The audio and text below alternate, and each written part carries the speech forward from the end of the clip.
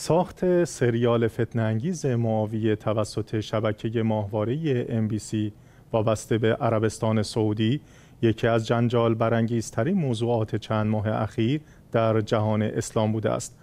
حالا اما شنیده شده که آل سعود از تصمیم خود برای پخش سریال معاویه عقب نشینی کرده و به نظر می رسد تلاش های مختلف شیعیان از جمله شبکه ماهواره الشاعر برای ساخت فیلم ابو لولو و بیانیه گروه از شیوخ اشایر عراق علیه سریال معاویه از دلایل تصمیم سعودی ها بر عدم پخش این سریال بوده است همکارم هورا عبدالمجید گزارش می دهد.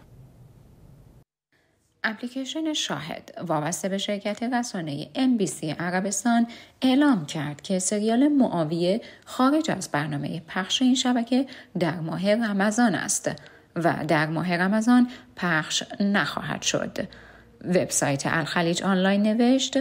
پاسخ این پلتفرم پس از طرح سوالی از سوی یکی از کاربران درباره سرنوشت این سریال که در هفته های گذشته بحث و جنجال های زیادی ایجاد کرده بود صورت گرفت.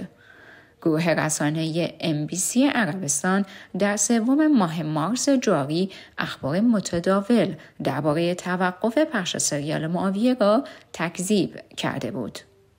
25 فوریه گذشته سازمان رسانه و ارتباطات رسمی عراق ممنوعیت پخش دو سریال معاویه و ابواللؤلؤ از دو کانال MBC و الشعائر را اعلام کرد. لازم به ذکر است شبکه ماهوارهای الشعائر حدود یک ماه پیش از عزم خود برای ساخت فیلم سینمایی ابواللؤلؤ خبر داد.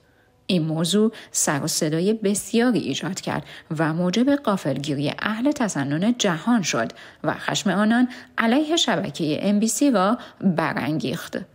از سوی دیگر گروهی از شیوخ اشایر عراقی و چهره های سرشناس شهر مقدس کربلا حدود دو هفته پیش با صدور بیانیه رسمی ساخت سریال معاویه را به شدت محکوم کرده و خواستار عدم پخش آن شدند و چنین اقدامی را توهین آشکار به احساسات میلیون ها مسلمان دانسته که موجب فتنه انگیزی و طایفه ای می شود.